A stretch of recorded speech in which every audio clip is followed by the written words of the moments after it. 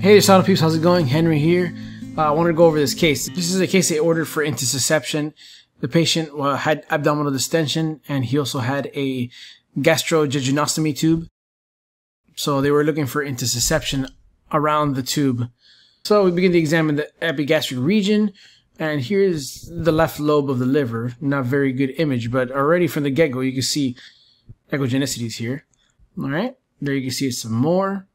So I already kind of knew where this was going from here, even though this was not the indication for the exam. I, I already knew what, what was coming.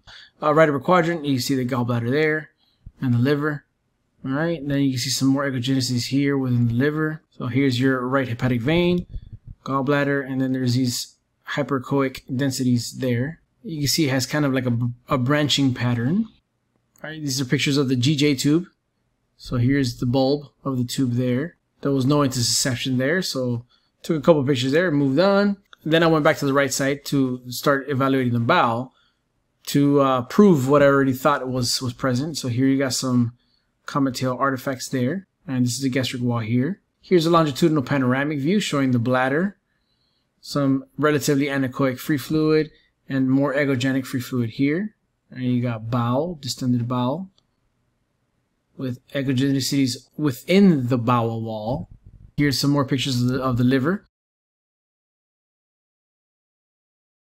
Here's a clip of the bowel within the right lower quadrant with echogenicities all within the bowel wall. This is air. So here's the liver and you see right there, you see these little air bubbles going through the portal portal veins. That's portal venous gas. This is a result of pneumatosis intestinalis, which is gas within the bowel wall, and is often first identified on abdominal radiographs or computed tomography. It is a radiological finding, not and not a diagnosis. Pneumatosis intestinalis is considered an ominous finding in ischemia, especially in association with portal mesenteric venous gas. Now, in regards to ultrasound, we usually see pneumatosis intestinalis in neonates or premature infants that are suffering from necrotizing enterocolitis. This patient was not a neonate or a premature infant. They were an older baby. Uh, they had recently had surgery and they had the GJ tube. They ended up having uh, an adhesion that was causing obstruction of the intestine, which caused necrosis. Patient had to have about 20 centimeters of the jejunum removed. On ultrasound, pneumatosis intestinalis is going to appear as echogenic dots or lines within the bowel wall. The bowel wall is usually thickened and edematous. The detection of subserosal air can be a little difficult in the presence of concurrent intraluminal air. Alright, hope you found this one useful. Hit the like button, subscribe, and hit the notification bell.